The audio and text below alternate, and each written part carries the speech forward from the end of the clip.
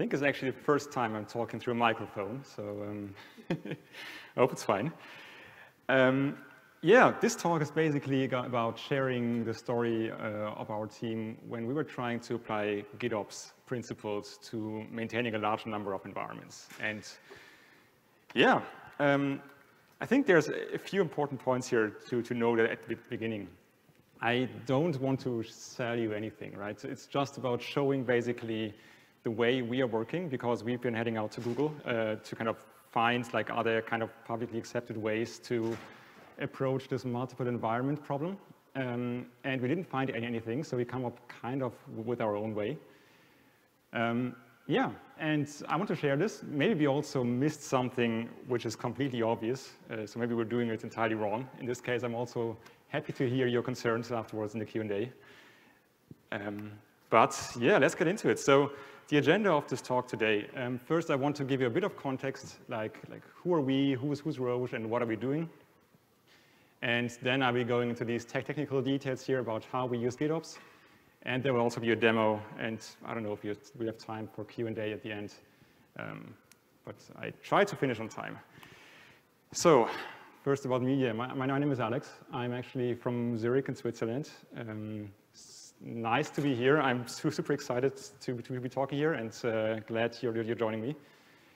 Um, by the way, like Zurich is this picture there on the bottom left, so I can highly recommend in case you're going to, to Europe to, to visit. It's, it's an awesome place. Um, but yeah, currently I'm working as a technical lead as the, at the Edge infrastructure team in Roche. And actually for this one, uh, who here has heard of Roche already? Because I think it's the, oh wow, that's actually more than I was expecting. Um, so for those of you who don't know, right, Roche is, is, a, is a healthcare company. Um, they're doing, or we're doing, like a lot of stuff, uh, like medication, right? Cancer th therapies is, is one big, big division. The other thing is um, diagnostics. So in case you have heard of COVID, um, like all these PCR tests, or many of the PCR tests which are being run in the labs, they are being run on Roche and analyzers. And what is such a like a, chemical company? What are they doing in, in, the world of software, right? And the point is that I mean we all know software is becoming more and more important everywhere. Um, also in healthcare, um, I mean the, the digital healthcare is, is, a, big thing which is coming. This is one use case which exists um, or will exist in the future, which is like this more and more personalized medicine. So you can imagine if you want to kind of um, yeah, customize your medication for, for every patient. You can't do this with like teams of senior scientists, right? There are not enough senior scientists available on this planet. So you need to do a lot of automation there. And basically, I'm working in a team, um, like an internal platform team in, in Roche, where we're trying to make this happen. So we are basically building a platform um, where which, which makes it easy for Roche to deploy applications into laboratories, into hospitals, into pharmacies, doctors' offices. And we're doing this basically by deploying a large number of Kubernetes clusters around the world. And we are basically, like the promise we're, making is we are managing these clusters and you as the application developer team, you can just use them, you can just install your, your Helm chart there. All right. So with this, let's talk about how we use GitOps. And the way we use GitOps is basically the way everybody uses GitOps. Um, so we have a Kubernetes cluster here on the right. Uh, we have a Git repository on the left. And in the middle, in our case, we use Flux and Kustomize to, to synchronize these two things, right? Now, the interesting part come, comes here. Um, we not have one Kubernetes cluster, but, but we, have, we have many of them, as, as I mentioned.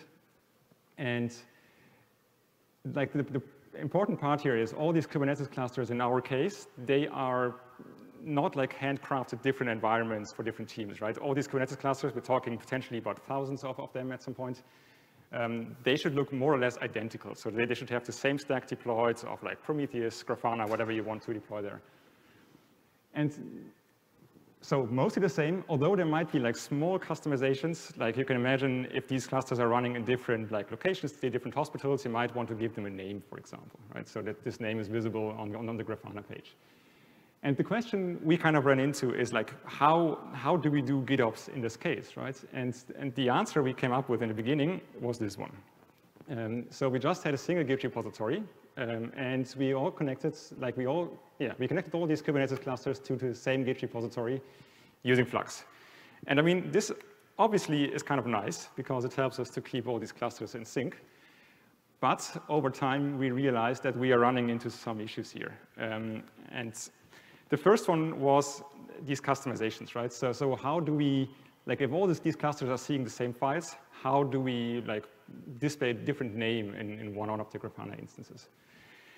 Um, the next one is also, like these were planned customizations, right? So we knew in advance that we want to display different names in all these Grafana instances.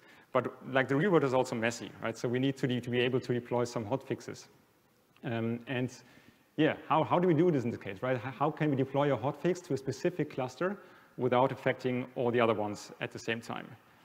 And kind of in the same direction goes the question of canary rollouts. Like how can we, um, I don't know, for example, update Prometheus to a newer version, but not deploy this change on all the clusters at the same time. Then the next one, or the next issue we were running into was uh, separating access permissions. So yeah, I mean, with like modern uh, Git hoster tools, right, like GitLab and so on, it's, it's kind of easy to separate write access permissions. Um, but in our case, like these clusters are really separated, like spread around the world. Different people are responsible for it. Like how can we separate, for example, read access permissions on these repositories? That, that's kind of hard to do in Git. And last but not least, um, another problem we had was geographical collocation. So connectivity is not always a given as much as we would like to, to have this. So we needed to, to somehow host these Git repositories also close to the actual clusters which are using them. Now, the solution, we, I mean, there are like a bunch of um, solutions to like each of these individual problems, right? But in the end, we decided to go a completely different route which is to create um, yeah, a separate Git repository basically for every cluster so that we have a one-to-one -one mapping for these uh, clusters and Git repositories. And the nice thing is that basically we inverted this, this list here on the left, right? So we solved all the, the problems we had before. Um, but now the, the new issue is popping up, like how do we now keep all these, these clusters in sync? And not only like how do we keep these, these like repositories in sync, but also how do we initialize them? I mean, we don't want like a person sitting there like writing these, these files to every Git repository uh, kind of manually, right?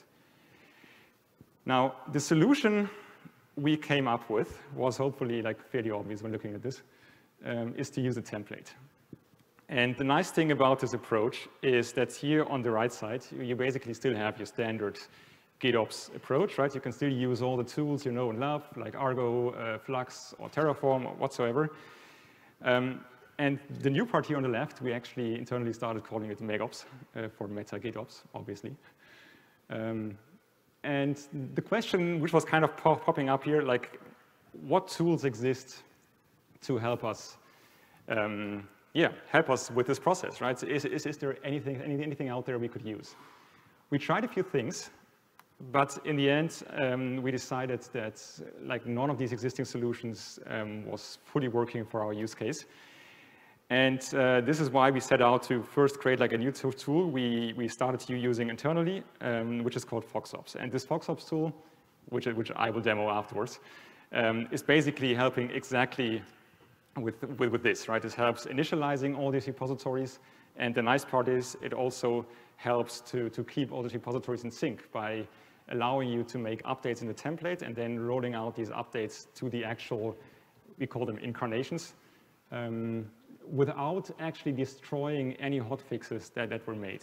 Like if we change something in the template and we have some hotfix active in a particular cluster, we can still roll out this update to, to, to, to this particular um, repository uh, as long as the change is not directly in, in, in the same location, um, in which case we would get, get, get a conflict.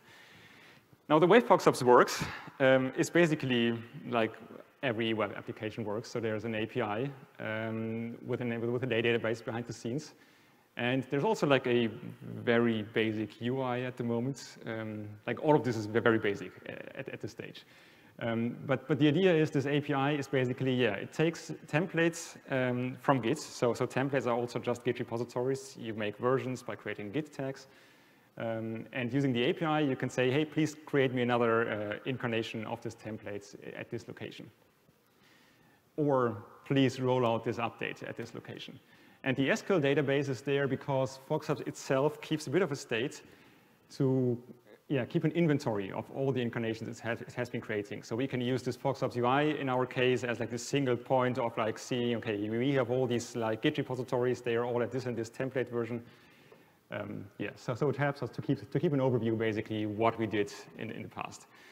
Um, although, I mean, just for you to know, right, in our case, we mostly use the API directly, especially for creating, so we automated everything end to end. Um, so so we, use, we use only the API, but the, the, UI is always there for some kind of manual intervention if needed. Um, yeah, I'm not going into detail of this slide. Uh, by the way, we open source FoxOps. Uh, it's, it's also a fairly new topic for us, um, and it's super, super alpha at this stage, so please don't use it. Um, uh, but like here you can see like just maybe afterwards if, if you want to check the slides like how, we, how it compares to the existing tools like Cookie Cutter and Copier, uh, which you might have heard. Um, the important part is, I think, that the, the, biggest difference is that Cookie Cutter and Copier, these are command line tools which you can run on your laptop, whereas FoxOps is kind of this like this hosted service which you could host somewhere and then you get this, this overview of like who created which incarnation. And I think I'm done with my slides already. Um, going to, to the demo. Just want to say the disclaimer again. So FoxOps, at this stage is somehow a POC, which made it into production, as usual. Um, so please don't use it, or please use it, but only do so if you have some time to also con contribute to it, because you will very quickly run into like missing features or, or bugs, um, which will not make this a pleasant experience at this stage. All right, so let's see the demo. So what, I, what I want to show you in this demo is basically a use case uh, similar to, to, to, the one I was uh, explaining before, right? So let's imagine we're a software as a service company. We are um, yeah, hosting our product for our customers, but for some reason our product is not perfectly multi-tenant capable. So we need to, yeah, for every customer, we need to create a separate instance, maybe spin up some separate cloud resources for this particular um, customer. Um, and basically what you can see here is I just prepared a small GitLab um, group where you basically, like this infrastructure thing is like all our different customer accounts here. So these are the repositories in which we want to commit our GitOps infrastructure as code for every customer. And then here we have a, a template folder. At the moment, there's only one template, and this is the template we're going to use to fill all these um, incarnations.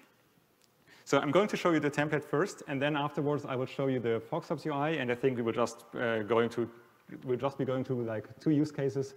The first one would be like let's onboard a new customer, um, so spin up like new infrastructure for them. The second one, let's update an existing customer to like a newer version of the template. So looking at this at this template here, just how it looks like. I mean, it's it's basically how a template always looks like. There is a metadata file. In this case, it's called fengine.yaml. Um, in this metadata file, you basically can define um, like variables that, that you can use in this template. So in this case, this template only takes a single variable, which is the customer name, and it's getting a type of, I mean, it's, it's, it's a type of string, right? And then here in this template subfolder, these are the files which are then actually committed afterwards by FoxOps to the incarnation. Um, so in this case, we want to commit some, some Terraform folder here. Um, actually, we're a very cheap software as a service company. The only thing we do at the moment for our customers is creating them a password. Um, and also a username. And you can see already here, this is now actually like the FoxOps templating um, syntax. So, so here we're using um, this, this, template variable uh, we have just been defining before. And by the way, FoxOps internally is using, so FoxOps is written in Python. It's using the Jinja 2 template engine, so you can do all the fancy templating stuff you want, like loops, if statements, variables, transformations, whatever. Okay, so, um, oh, and the last thing which I can maybe show you here is that templates are, are versioned, right? So we just use git tags in this case. Um, at the moment, we're having a version 0.1, and there's also a version 0.2. The only difference in version 0.2 is I updated the Terraform provider. Uh, I updated a random Terraform provider from one version to another. All right, now let's go to the very basic FoxOps UI. So this is the overview page of FoxOps. There, there are not more pages at the moment. Um, but what you see here are basically these two incarnations I have been creating already before. Um, so let me quickly change back here just to you for you to see this again. Um, this was our structure, right? And these were our different uh, customer accounts. So, so far we have, we have two of, two of these accounts, and let's say now we want to create another account uh, for a customer who just bought our product. And unfortunately, we don't have any um, auto completion here or selection whatsoever. But basically here on this create incarnation page, we are um, saying, okay, this is the target repository we want to initialize the template in. This would be, uh, in this case, infrastructure uh, account C. Then FoxOps does support creating these incarnations in subdirectories, uh, but in this case, we will just do it in the root directory.